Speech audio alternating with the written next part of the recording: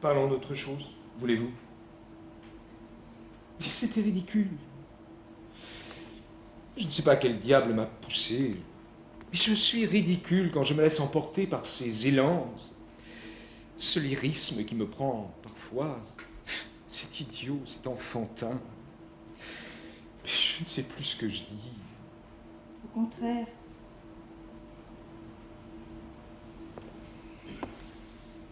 C'était très émouvant.